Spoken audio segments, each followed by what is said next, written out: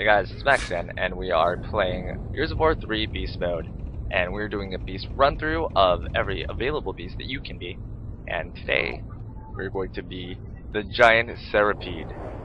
Oh, Giant Serapede is just... I don't know. You'll see. Okay, so, it doesn't really have many things to it. Uh, but it's really good for taking down barriers, like that. But even more so, he is useful for defense. And just taking down little enemies, like that. Things become chaotic. So, not only does it have a crazy vicious bite, but it also has a uh, lot of armor and can take a very massive amount of damage. Unfortunately, he can't really kill over barriers. The only thing he can do is uh, run around and fight people. Also, if you look at his antennas, uh, his antennas are a sort of indicator of where the enemy you can see.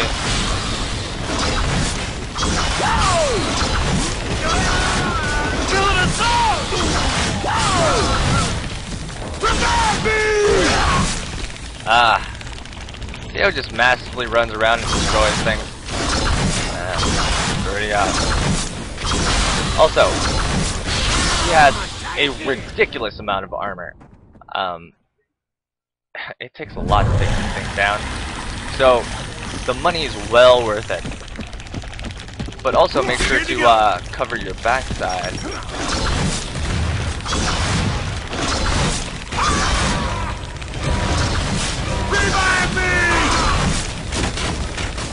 So sometimes things get a little bit hairy.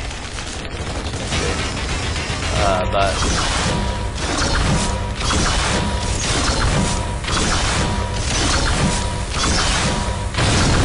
Fire destroyed!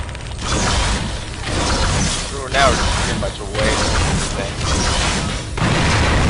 Aww, You are nothing. So that was the giant Serapede. Hopefully you enjoyed it. Um, he will be a very useful character. And, I mean, it looks awesome.